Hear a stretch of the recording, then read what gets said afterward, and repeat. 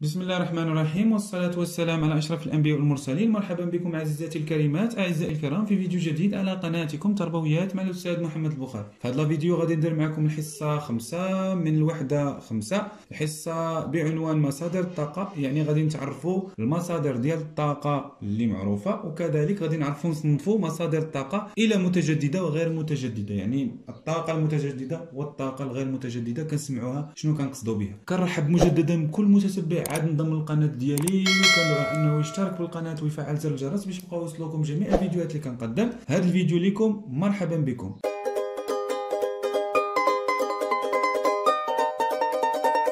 اذا آه، هذه الحصة خمسة مصادر الطاقه كتخص كتاب المتعلم والمتعلمة من النشاط العلمي بالنسبة للمستوى الخامس. اذا كما دائما غادي نبداو بالصورة ديال الانطلاق وكذلك بالوضعية المرفقة. اذا الصورة ديال الانطلاق كتبين محطة نور لإنتاج الطاقة الكهربائية. اذا ذاك المحطة الكبيرة اللي عندنا في المغرب لتوليد الطاقة الكهربائية. اذا كتعتمد على ماذا؟ كتعتمد على les panneaux solaires يعني ذاك اللوحات الشمسية. ذاك اللوحات الشمسية اللي كيستقبلوا الطاقة الشمسية ويحولوها إلى طاقة كهربائية. مزيان بالنسبة للوضعية هي كالتالي خلال إحدى العطل مرت سناء وعائلتها بإحدى محطات إنتاج الطاقة الكهربائية باستغلال الشمس كمصدر للطاقة. خرجت سناء الكثير من الأسئلة عن مصادر أخرى للطاقة. في واحد العطلة كانت العائلة ديال سناء هي كيدوروا ومروا بإحدى محطات إنتاج الطاقة الكهربائية واللي كيستعملوا فيها هاد les panneaux solaires كمصدر للطاقة. يعني كيستقبلوا الطاقة الشمسية شمسيه وكيحولوها لطاقه كهربائيه وبقى كتسائل هاد سناء بقات كتسائل شنو هو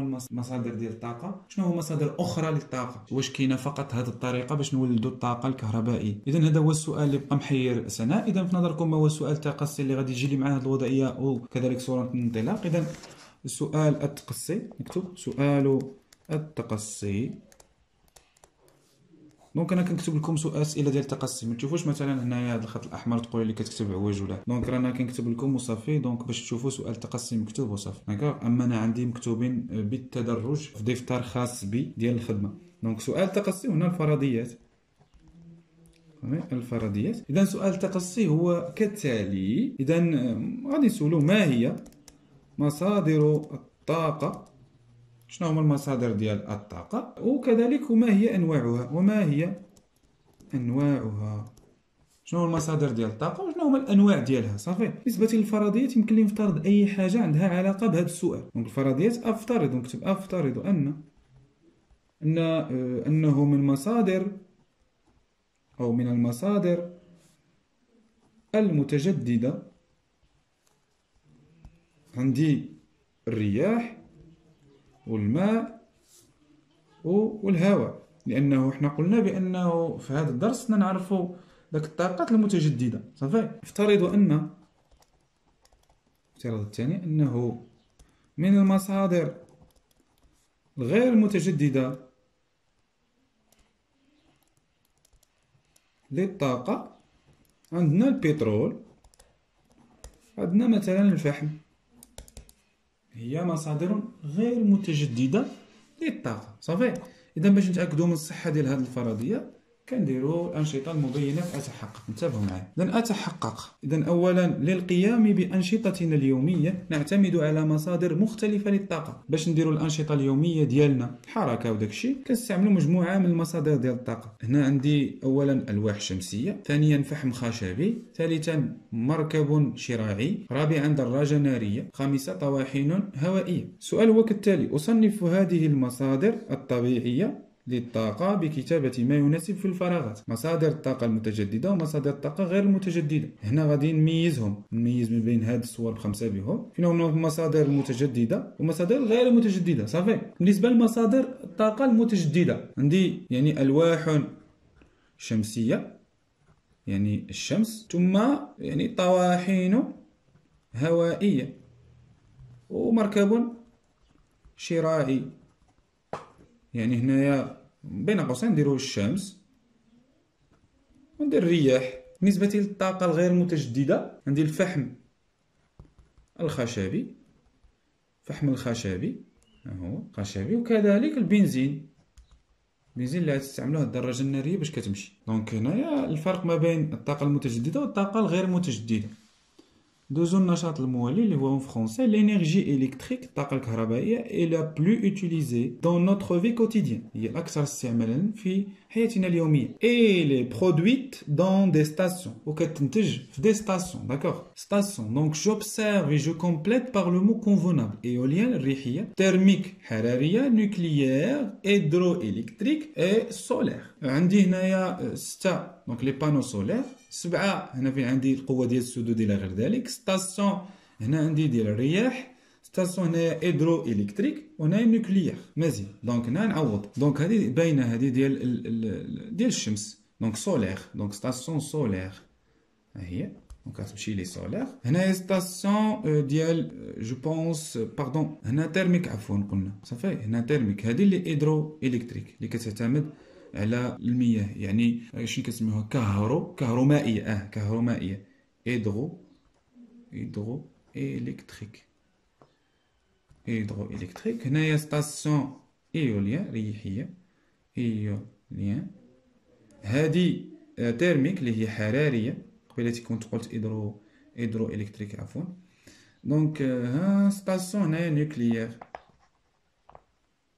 صافي nucléaire je classe les stations précédentes en غادي نديرهم عاوتاني بحال كما درنا هنايا يعني طاقه متجدده وطاقه غير متجدده l'énergie renouvelable متجدده l'énergie non renouvelable يعني غير متجدده donc الطاقه المتجدده فين الطاقه المتجدده عندنا solaire وعندنا éolienne d'accord هادو هما بجوج بيهو وكنزيدو عليهم كذلك hydroélectrique هادو هما بثلاثه بيهو يعني اللي هما متجددين صافي donc station donc station solaire solaire ستة وعندي hydro hydroélectrique اللي هي سبعة وعندنا éolienne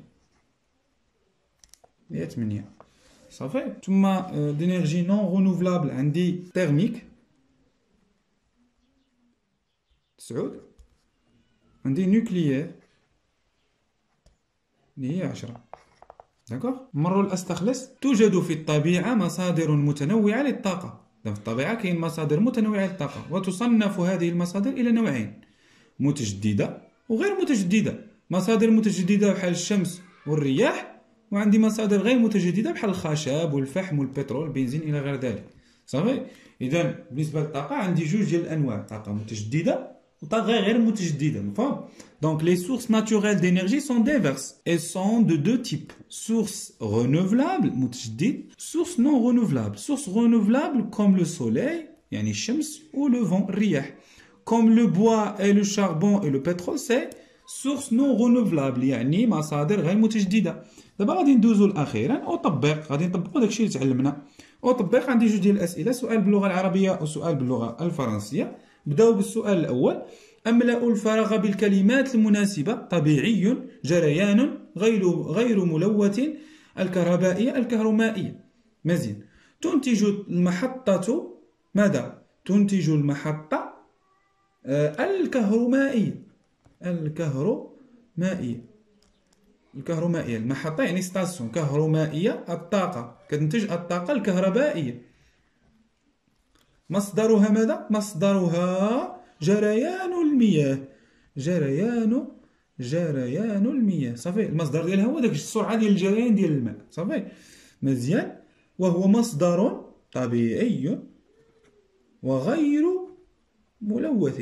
هكا هو واحد المصدر اللي هو طبيعي وغير ملوث. دوزو ال question deux je réalise une hélice à air. غادي نديرو واحد l'hélice à air على الهواء je souffle sur l'hélice et j'observe. وغادي نفخ غادي نفخ على داك l'hélice quelles sont la source et la forme d'énergie qui fait tourner l'hélice شنو هما؟ يعني المصدر المصدر والنوع ديال الطاقة اللي غادي يخليو داك l'hélice يدور. مزيان. donc عندي المصدر بالنسبة la source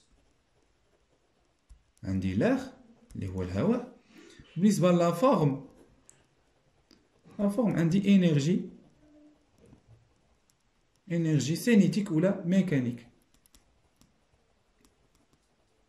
صافي ميكانيك ولا أه cinétique حركيه صافي donc وبهذا غادي نكون كملت la vidéo ديال اليوم اللي كان كيخص صفحه 63 من كتاب المتعلم والمتعلمة منهل النشاط العلمي نسبة للمستوى الخامس ابتدائي. كان معكم الأستاذ محمد البخاري والسلام عليكم ورحمة الله تعالى وبركاته.